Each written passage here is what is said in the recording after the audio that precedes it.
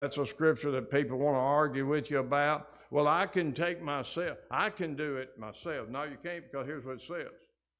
And I give unto them eternal life, and they shall never perish, neither shall any man pluck them out of my hand. Any man, okay? Can't be done. Once you're saved, you're sealed. Hey, I use that same thing Dr. Curtis Hutson used. Seal me up in a drum, seal that drum, stick that drum in a little larger drum and seal that drum. Put them two drums in a bigger drum and seal that drum. The outside, the outer drum is, is God. The inner drum is Jesus, and I'm inside those two. You gotta come through God and Jesus, get to me. Can't pluck me out. Can't pluck me out, okay?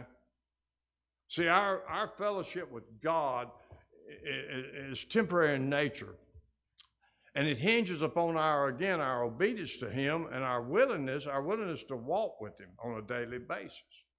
See, this is a clear teaching over in 1 John 1 7. But if you if we walk in the light, as he as he is in the light, we have fellowship, there's that word, fellowship one with another, and the blood of Jesus Christ, the Son, cleanseth us from all sin. Did you hear all that? Did you get all that? If you didn't, write it down, read 1 John 1 7 when you get home.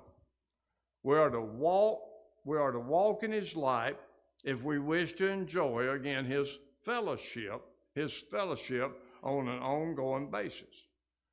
We, we should be thankful for again our, our relationship with the with the Lord, okay? Thank God that, that it's eternal, y'all. And that we do not we don't have to worry about losing that blessed connection uh, because we can't. Because we can't. However, we should be very, very aware that we can fall out of fellowship with the Lord, and that is why, again, we need to have a, a consciousness, you might say, of sin that may be in our life on a day by day basis. You say, I don't sin, preacher.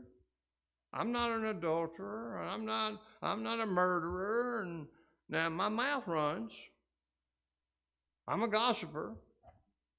And I talk about people, but does that, does that count? Mm-hmm. I think somewhere in here you're going to find every idle word. Every idle word. I, I think it's in there.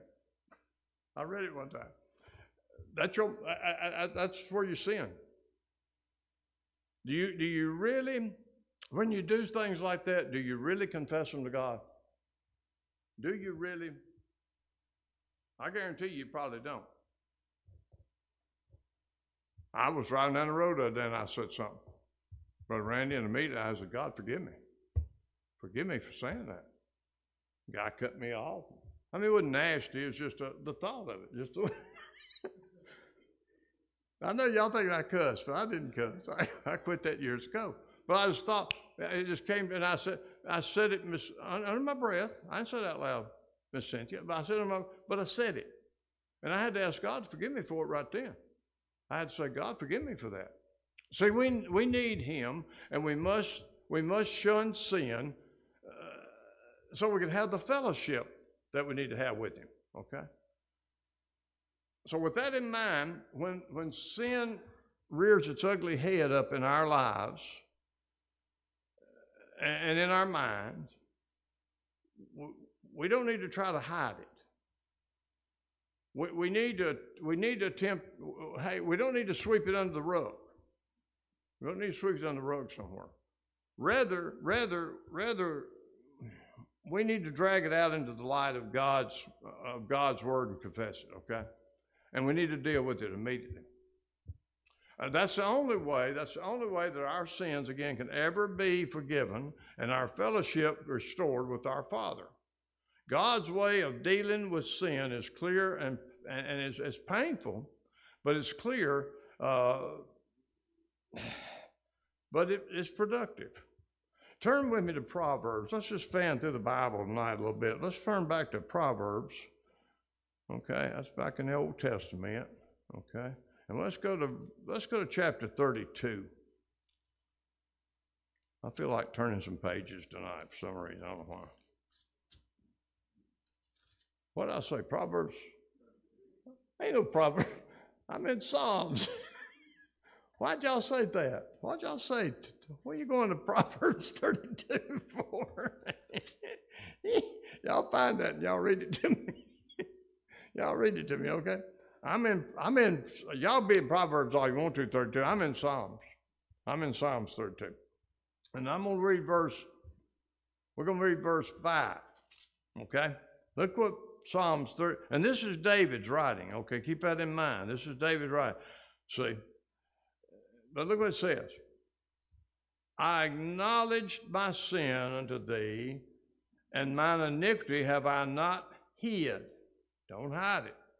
I said, I will, hey, I will confess my transgressions unto the Lord, and thou forgavest the iniquity of my sin, Selah. Okay. Now, how about Psalms 51? Let's turn over there. And that, that is Psalms. That ain't Proverbs either. Okay. All right. Verses 1 through 6. Let's see if we read them all. This is David again writing. He said, uh, uh, This is after all this Bathsheba thing, okay? Have mercy upon me, O God, according to thy, hey, look there, thy loving kindness, according to thy, the multitude of thy tender mercies, blot out my transgressions. Wash me, wash me thoroughly from mine iniquity, and cleanse me from my sin. For I acknowledge my trans. See, he acknowledges. He, he brings it out in the light of God's word. And he says, I acknowledge my transgressions and my sin is ever before me. Against thee, ah, thee only have I sinned and done this evil in thy sight, that, that thou mightest be justified when thou speakest and be clean when thou judgest. Behold, I was shapen in iniquity, and in sin did my mother conceive me. Behold, thou de- desirest truth in, in the way, in the inward parts, and in the hidden parts thou shalt make me to know wisdom. Wow. Wow. Here again, here again. And I, and I did want to go to Proverbs somewhere. Oh, I know where I want to go. Proverbs 28. There, that, that's in there, it? Proverbs 28. It's sandwiched in there between 31, so forth. Let's go back to Proverbs. I want to read Proverbs too. I forgot about it. Maybe I got ahead of myself. Proverbs 28, what did I say a while ago? I didn't. 28, 13. 28, 13. Happy, look here, happy is the man that, uh, what? Oh, excuse me. I'm as confused. I turned my yo-yo tonight. Hey, 28, 13, right, George? He that covereth his sins shall not prosper. That's what I was talking about. It's painful, okay? Because he that covereth his sins will not prosper. But whosoever confesseth and forsaketh, now that's important too, though. You can you can confess them, but you must forsake them. Okay? Them shall, hey, them shall have mercy. Now, if we go to First John, and y'all know this in my heart, but if we'll fan back to First John chapter 1, uh, uh, let me find it here. First John chapter 1 and uh, and verse uh, 9, 999, 999. Yeah. Well, come on, Steve. Come on, Steve. There it is. First John chapter 1, verse 9. Y'all know it by heart. This is important. If we confess our sins, he is faithful and just to forgive us our sins and to what? And to cleanse us from all unrighteousness. See, it, it's, it's painful, but it's productive. It's productive. Instead of hiding our sins, we should drag them again out into the light and confess them as far as they are, hey, as, as far as they are known. When it comes time to deal with with our sins before the Lord, we should confess them to Him. The word, hey, that word confession just means to agree with or to say the same thing as. So, what it's saying is, God wants us to reach the same place He's he, he, he, he's at, okay? And he is he's concerned about our sins, y'all. And, and we should be concerned about our sins. Again, it breaks, it breaks fellowship. He wants us to see sin as, as, as the horror it is, the pain it is, the, the perversion it is. He wants to see it just like that's the way he looks at it. See, that's what he sees in sin. He wants us to deal with sin like he would deal with sin, okay? Again, we should hate the same thing God hates. We should hate the very same things he hates. He wants, uh, he wants me to judge it in my own life. And if I do, if I do, I can bypass his judgment and his chastisement. Y'all know 1 Corinthians uh, 11, 31, 32. For if we, hey, if we would judge ourselves, uh, we should not be, hey, we should not be judged. But when we are, when we, hey, but when we are judged, we are chastised by the Lord. That that should be that. Hey, we don't. We shouldn't want. We shouldn't want to be chastised by the Lord, We shouldn't want to be chastised Lord. Uh, when when let me remind you that that this prayer again is a family prayer, y'all. We're talking to the Father. How does it start off? Very simply. Our Father, which art in heaven, hallowed be thy name. So we're talking to the Father.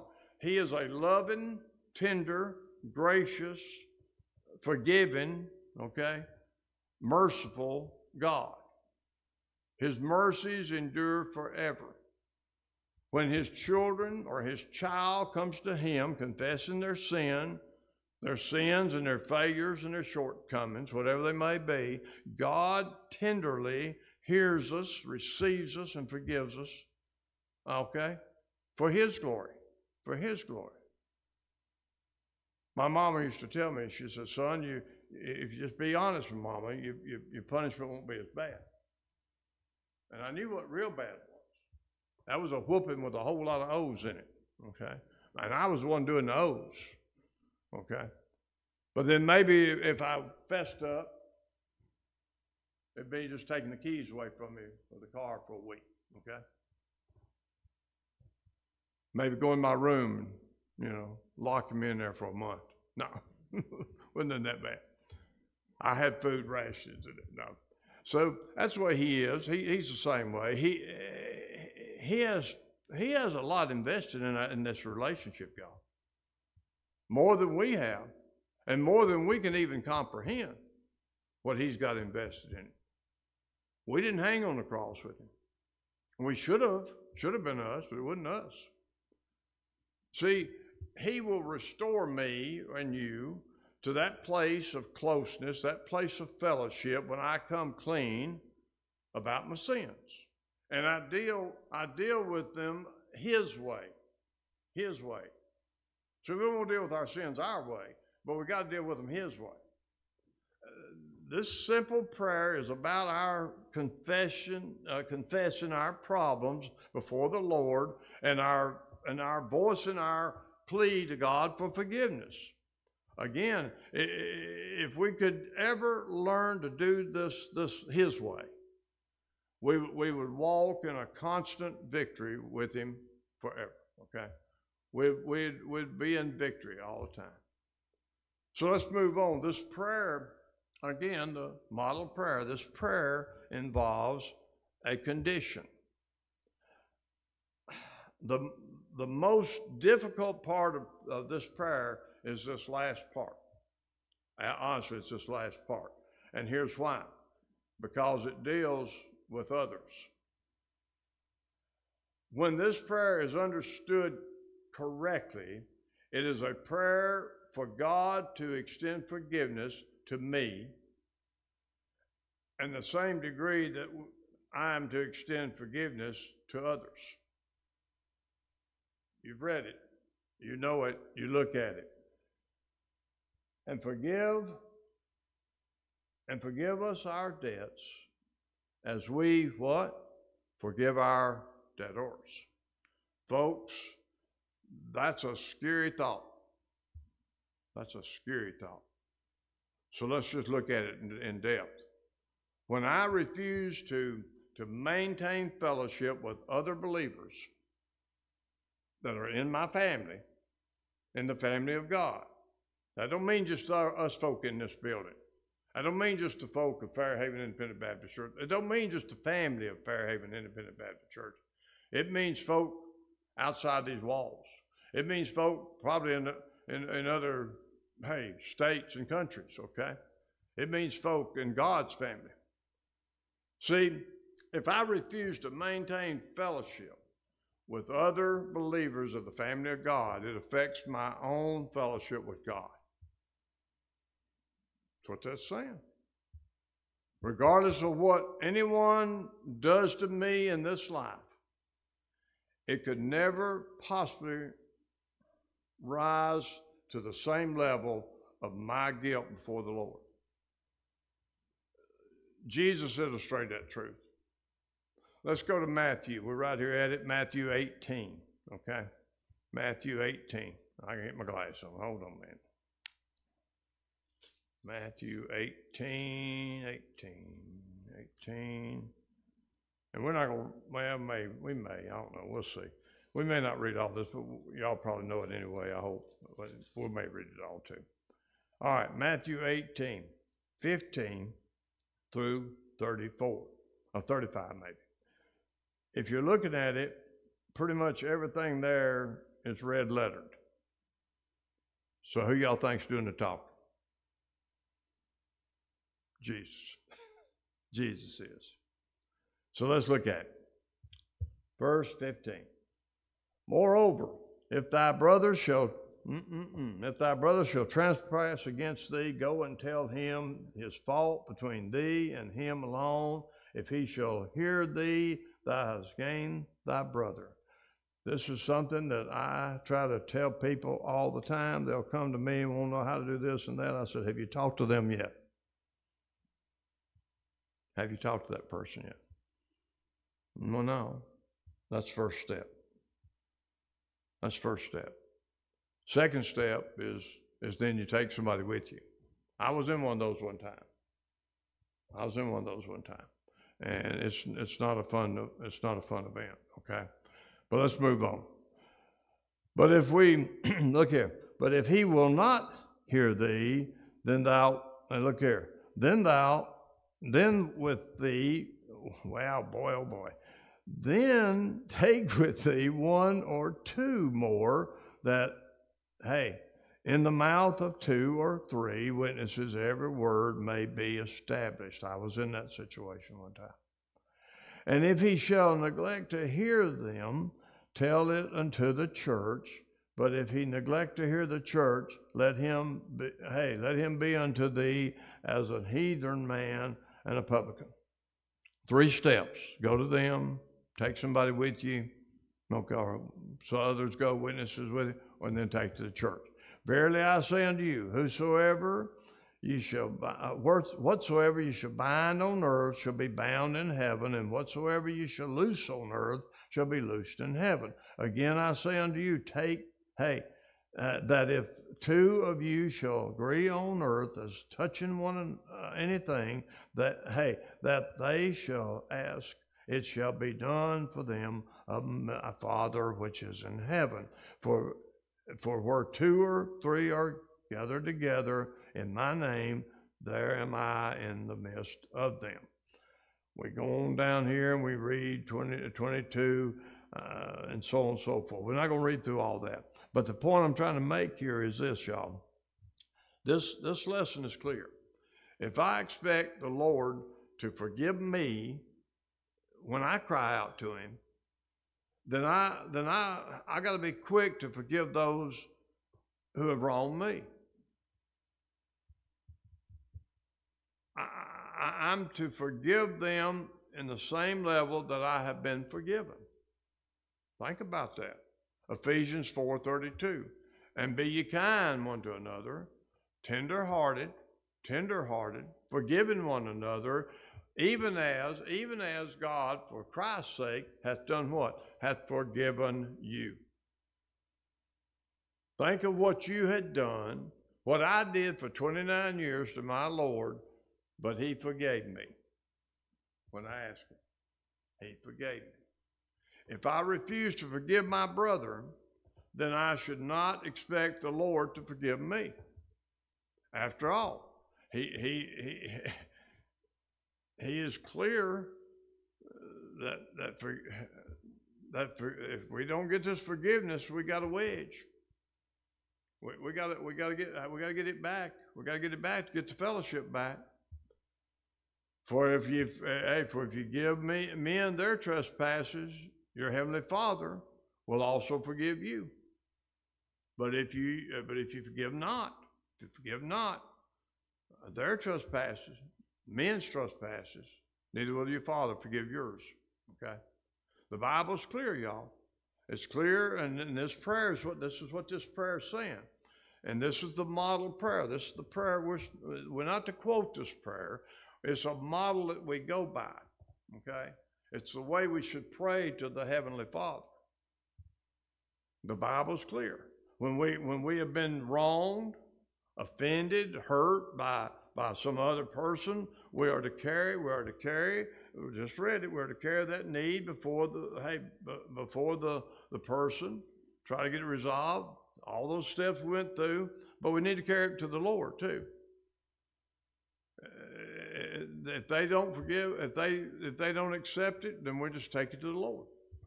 Take it to the Lord. See, he'll he'll take care of it. I never will forget. We were at uh, we were at the uh, some of y'all were there.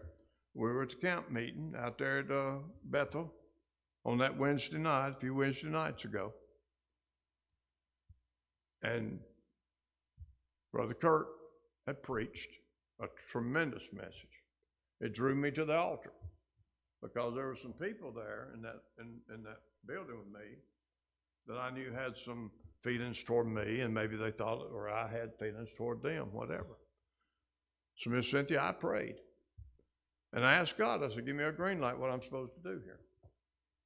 What I need to do, because this, this has gone on long enough, and there's no reason for, I, I love these people, and, and, and I don't, we don't need no wedges between us. You wouldn't want that, and if I, if I can't forgive them, they can't forgive me, we got a problem. And, and I'll have a problem with you if I don't. And I knelt and prayed, went back to my seat, had kind of bowed my head down and said, God, where's the green light? Where's the green light? What am I supposed to do? And I looked up, and there they were. They got the same, they got the green light before I got the green light. But there they were.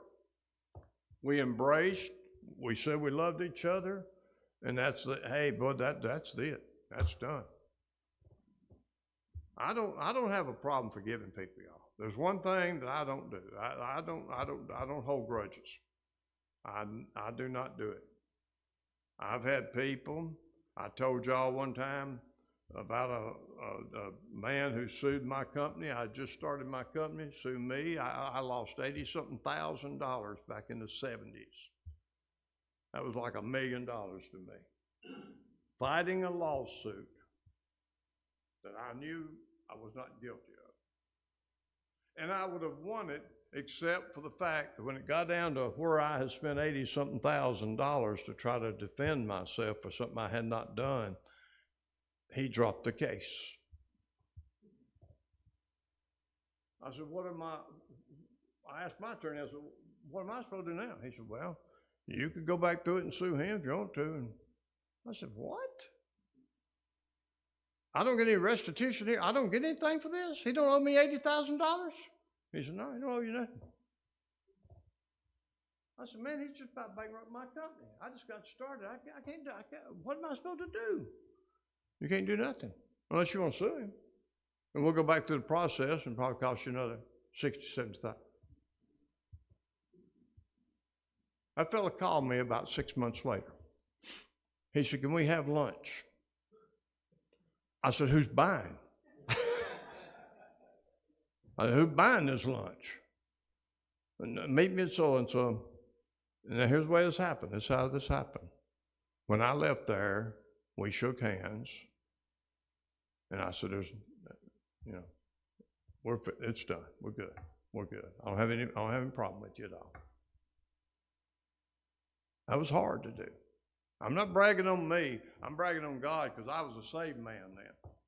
Had I still been 27, 8 years old, it would have been a totally different story. A totally different story. But see, that's the way this is supposed to happen. That's what this is saying, y'all. That's what this is saying. We are to forgive them and to let them, hey, let the offense go. Let the offense go. Read Luke 17, 1, 5. Won't do it tonight. Colossians, it's in Colossians 3. It's in 1 Corinthians. It's all in the Bible there. But let me let me try to make this matter practical for us tonight. When you have wronged someone and you know it, you are to go to them, confess your wrong, and seek their forgiveness. Matthew, we're right there, but Matthew 5 23 says, Therefore, if I, if I bring a gift to the altar, and you, then you have remembrance, you remember that your brother has aught with you, leave it and go, go see your brother. Okay, I'm paraphrasing. Some people never grow in the Lord and they wonder why. The answer is very simple. It's as simple as this you need to go to those who have offended or you have offended and say, I'm sorry.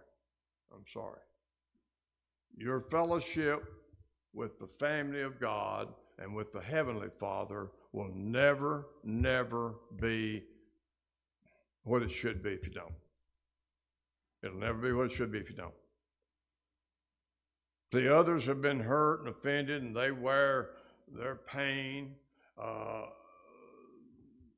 like a heavy weight, like a lead weight uh, on their heart and their soul. If you if you ever expect to get past it, you must forgive. You must forgive that person uh, and forget it. Let it go. Let it go. It may involve you going to them and telling them. See, Matthew 18 15. Moreover, if thy brother shall trespass against thee, go, go and tell him. Go tell him his fault between ye and he. Okay? See, if the person repents, then all is well. Everything's good. Did that guy repent that day? I don't really know if he did, but he was very apologetic. Uh, he tried to mend all the wrongs that I felt he had done against me, but it didn't matter because it had to come from me too. I had to get there too. I was the bigger loser than he was because he, he had had a company for years and years and years and had a lot of money. But let me tell you what I think about all that. And I hope you understand. I hope you take this the right way. In six months, he was blind.